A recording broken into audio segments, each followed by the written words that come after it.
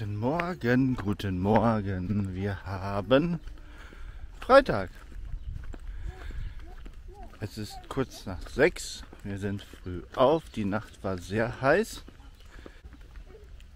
Heute sind wir mal zu viert unterwegs, weil die Maus und die Mama auch nicht mehr schlafen konnten. Wir müssen übrigens zur anderen Seite raus. Jeden Morgen vergessen wir, dass das Tor noch zu ist. Wobei die letzten Morgen hat das schon ganz gut geklappt. Ja, Wochenende, hoch die Hände, yay. Na gut, wenn ihr das seht, ist das leider schon vorbei am Sonntag. Ich ähm, filme das halt immer zeitversetzt 48 Stunden. Ich muss ja auch Zeit haben, das zu schneiden und hochzuladen und deswegen, wenn ihr das seht, ist bei uns schon Sonntag. Bei euch auch, natürlich. Ich wollte euch mal zeigen, das Meer, ähm, der See ist richtig schön ruhig. Kaum Menschen unterwegs, einfach wenige sitzen. Da hinten ist eine Insel. Ich habe mich immer gefragt, wie heißt die Insel da hinten? Wir sind ja Monique, Moniga del Garda. Und da hinten ist so eine Insel, die man vom Ufer aus sieht, wo immer Fähren rüberfahren. Würde mich mal interessieren, wie die heißt. Wisst ihr das? Ich könnte ja auch Google fragen, aber könnt ihr mal in die Kommentare schreiben, wie die Insel heißt und mir das verraten. Dann brauche ich nicht Google fragen. Ja, was steht heute auf dem Programm? Wie jeden Morgen, wenn wir die Runde gehen. Eine gute halbe, dreiviertel Stunde gehe ich sonst immer gucken, wie lange die Maus heute durchhält. Aber zur Not können wir sie auch schlörren. Und dann ähm, werden wir erstmal in Ruhe ein Käffchen trinken. Mal gucken, vielleicht duschen. Wobei ich ja gestern Abend schon duschen. Ähm, heute soll es warm werden. Ja, sehr warm. Das heißt, wir werden bestimmt wieder mindestens dreimal zum Meer runtergehen. Oder mit der Maus werde ich im Pool springen. Mal gucken. Ähm, wir werden heute noch mal verlängern bis Montag oder Dienstag. Dann müssen wir mal gucken. Weil wir haben beschlossen, wir wollten nicht Sonntag zurückfahren, weil Sonntag halt verkehrsmäßig über Brenner soll es ja voll sein. Viele fahren Sonntag zurück. Und deswegen haben wir beschlossen, werden wir Montag oder Dienstag zurückfahren. Dann die Route über Passau, Ingolstadt, Fulda. Ja, dann werden wir nicht in Malchesine anhalten. Haben wir halt angefragt, verschiedene Campingplätze, aber die waren alle voll. Deswegen werden wir dann direkt durch von hier nach ähm, Innsbruck. So. Ja, soll ich den, soll ich den nehmen? So, ich übernehme den Smurfy mal eben. Wir werden jetzt runter zum Meer und gleich am, am Meer zum See und gleich am See zeige ich euch nochmal, wie schön das hier aussieht.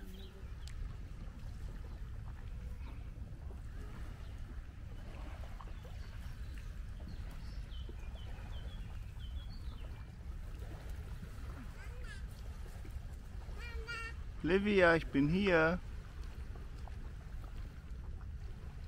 Winke, winke. Es ist wirklich herrlich, die Ruhe, das Wasser. Ein Träumchen. Guck mal, Livia, was ich hab für dich. Später mal. Geh mal hin, Livia. Du musst dir zuwinken. Winkst du ihr zu? oh, langsam, Mäuschen. Elti, du nicht.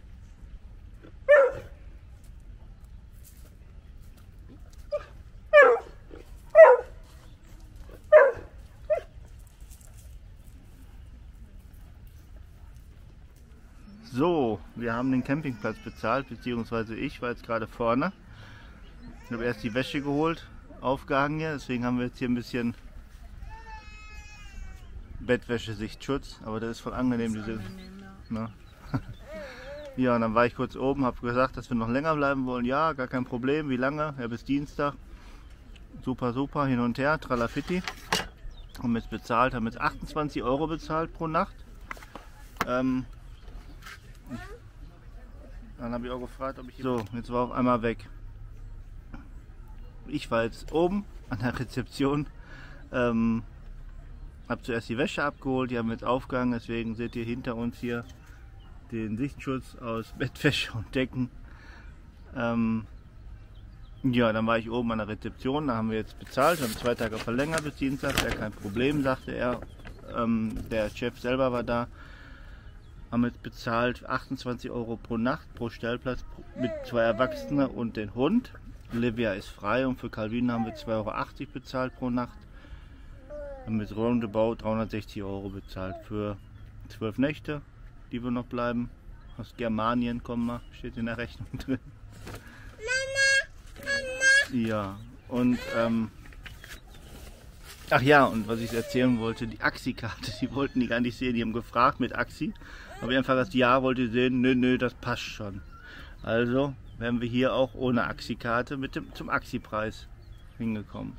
Aber wie es der Doppel will wahrscheinlich, hätten wir sie nicht gehabt, ne? Dann hätten sie sehen wollen. Ist schon alles gut, so wie es ist. Ja, das wäre auch erledigt. Bezahlt haben wir das. Hier ist schon wieder Aufbruchstimmung. Nebenan aufgebrochen. aufgebrochen. Ich werde mit der Drohne wahrscheinlich die Tage mal fliegen und ein bisschen filmen. Ähm, das mache ich dann ganz früh morgens, genau. Ne, spät abends, dann ist das halt ein bisschen dunkel. Ich kann ja kurz mal beide Male fliegen. Ich werde ihn ausgraben, dann werden wir ein bisschen was zum Campingplatz nur erzählen. Da können wir vielleicht ein extra Video zu machen. Ne? Oh, bist du müde, mein Mäusekind? Willst du auch mal Hallo sagen? Sag mal Hallo, Sia. Nein, keine Zeit, sagt sie. Die muss die Fliegen jagen. Ja, mit dem Etty waren wir heute Morgen auch schon, habt ihr mitgekriegt, der schläft immer noch. Der war so platt nach der großen Runde. Wir sind ja extra nochmal immer außen rumgelaufen. Und ähm, haben jetzt gefrühstückt, lecker Croissant gab es für den Calvino. Brötchen haben wir geholt. Und jetzt machen wir ein bisschen Siesta. Die Kinder, die stehen jetzt seit einer halben Stunde schon mit bestimmt acht oder zwölf anderen Kindern vor dem Pool. Und der Poolwächter sitzt da und spielt mit dem Handy. Er sitzt einfach auf seinem Stuhl. 10 Uhr machen die es offen. Habe ich auch gedacht, ne? Sorry, aber da verstellt mir wirklich das Verständnis irgendwie. Wenn er eh da sitzt. Halt ja, aber wenn er eh da sitzt, ne? Naja. Aber vielleicht auch versicherungstechnisch, ja, wenn da keine was Ahnung. passiert. Ich finde es halt schade. Die stehen da und warten und würden gerne und können nicht. Und dann ne, ist man froh, dass sie mal laufen und rennen und springen, wollen sich abkühlen. Naja, das wird sie machen. Ja, und wir? Wir werden jetzt weiter aufräumen. Ich wollte den Kofferraum heute mal ein bisschen aufräumen, sortieren. Wir haben ja viel verbraucht davon. Dann wollte ich äh, den Kühlschrank mal ausräumen und sauber machen. Die Mama geht gleich mit der Livia in den Pool abkühlen damit sie zischt, wenn sie einmal reingeworfen wird. Und dann gibt es bald schon Mittagessen. Heute gibt es Kartoffeln mit Tzatziki und Salat. Aber da zeigt euch die Mama dann, wie lecker der aussieht. Und ich werde berichten, was wir noch so Tolles heute erleben.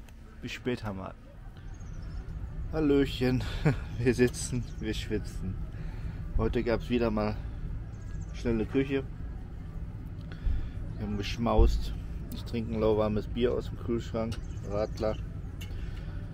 Es ist wirklich, heute ist echt ätzend warm, ne? Und das, das, das heißt schon was, wenn ich das sage. Also ich schwitze schon nur, wenn ich denke. was hört sich an? Oh, Windbrise. Oh, geil. Ja. Aber wir sind halt in Italien im Sommer da ist das schon mal extrem heiß. Der Etty ist auch am Schwitzen, hängen die Lefzen bis zum Boden. Ganz schrumpelige Augen hat er schon. Wir gingen alle zum Wasser. Die Maus ist gerade wach geworden, jetzt wirklich lang geschlafen, der ist auch warm. Wir werden uns gleich über die Wiese zum Meer fangen und dann gehen wir alle einmal schwimmen. Und wenn ihr das Zischen gehört habt, dann waren das unsere Körper, die ins Wasser gefallen sind. Ja, ein Thema wollte ich noch ansprechen und zwar auch bei mir jetzt in den Kommentaren immer öfter oder auch Nachrichten, die wir gekriegt haben, vor allem, wie wir das machen mit dem Online-Arbeiten. Also da gibt es ja viele Wege, man kann viele Sachen machen, kommt immer darauf an, was liegt einem, was liegt einem nicht. Ähm, das ist halt für jeden individuell. Da kann man nicht sagen, mach das, mach das, mach das, weil das ist völliger Quatsch. Wir wollen auch niemanden beeinflussen weil das völlig individuell ist. Wenn ihr da Anregungen braucht oder Starthilfe, wir kennen da jemanden, der ähm, hat zum einen ein Buch, ein Online-Buch war das, ne? Online-Guide. Online-Guide. Muss man eben äh, den Etty rausscheuchen, deswegen war da kurze Pause. Ja, wir haben, ähm, der hat halt einen Online-Guide rausgebracht, wo man halt vieles nachlesen kann, wo man vieles erklärt bekommt, ähm, auch Angebote kriegt von diversen Anstellungen oder St- Stellen oder was man machen kann von überall auf der Welt nur mit mobilen Daten. Oder jetzt ganz neu macht die auch so ein ähm, Webseminar, ist das, ne? Ein Workshop. Und ähm, da kann man sich anmelden, das ist nächste Woche Sonntag. Und dann kann man da halt Sachen erarbeiten, drüber reden.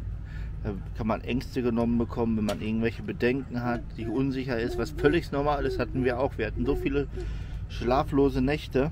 Ähm, da kann man sich halt dann Hilfe holen, die betreut einen, nimmt einen quasi an die Hand. Klar, letztendlich den letzten Schritt muss man selber machen. Die kann jetzt nicht sagen, hier, ich mache das alles für dich oder wir oder wer auch immer. Weil das funktioniert nicht. Muss man schon ein bisschen Eigeninitiative, aber so diesen Weg dahin, dass man an die Hand genommen wird, das macht die und das denke ich mal, so wie ich das aus dem Guide kenne, macht sie das auch sehr, sehr gut. Also wer da Interesse hat, ich kann euch das ja auch mal in mein, ähm, meine Infobox den Link reinmachen zu dem Guide und auch zu dem ähm, Seminar. Könnt ihr mal reinschauen, wer Interesse hat. Ja, da ist deine Wasserflasche. Wollte ich nur mal so erwähnt haben, weil ich, wie gesagt, ab und zu immer mehr Nachrichten bekomme. Olivia, das ist mein, meine Limo. Hm, Da ist deine Flasche. könnt ihr mal reinschauen. Ja, jetzt, wie gesagt, die Maus, die Mama isst noch. Ja, Mäuschen, ich weiß, die ist warm. Die ziehe ich jetzt gleich um. Und dann ähm, für zwei, wegen Stillen. Wegen Stillen. Ich dachte schon, habe ich was verpasst. Moin Mäuschen, hast du geschlafen, fein? Ja. Wir gehen jetzt gleich zum Meer und werden uns abkühlen. Und dann melde ich mich nachher nochmal zu Wort, ihr Lieben. Bis später mal. Hallöchen. Wir hatten heute eine Planänderung. Leider. Wir waren gerade schwimmen, das hat sehr gut getan, abgekühlt. Ich habe ja gesagt, die Olivia, die war so warm. Jetzt gerade hat sie Tonsillitis gekriegt und ich glaube, die vom Nachbarn, die hatten auch vor ein paar Tagen da Probleme, das Baby, dass sie sich was eingefangen hat. Und so bin ich jetzt zum Einkaufen gefahren. Die musste dann schlafen mit der Mama, alte Mama. Mama ist nicht am Schlafen. Beziehungsweise ruht sie jetzt aus. Sie hat schon Minze gemacht. Die hat jetzt ähm, In einem Kilometer den Viel Kreisverkehr getrunken. an der dritten Ausfahrt und auf eigentlich wollten wir morgen früh verlassen. einkaufen, aber jetzt dadurch haben wir gesagt, komm, fahren wir jetzt eben einkaufen schnell. Wir brauchen morgen nicht los und haben auch frische Sachen und ähm, gucken, ob ich eine Apotheke finde. Da wollte ich immer so ein Fieberzäpfchen, falls wir es brauchen. In der Regel ist hier halt im Nehmen. Hat immer gut geklappt, aber da wollte ich jetzt mal schauen. Ich bin jetzt mal auf dem Weg zum Interspar, weil hier vorne war nur ein Aldi und sonst nicht viel und der Penny halt.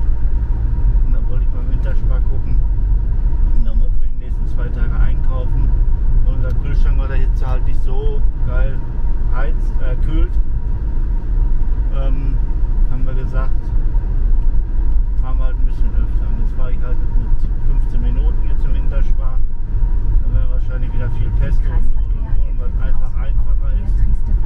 Und ähm, ja, ich erzähle euch gleich mal, wie es gelaufen ist. Und die Mama wird das dann unter von aller Voraussicht dann auch gleich hauen und euch dann auch zeigen, was wir uns Leckeres gekauft haben.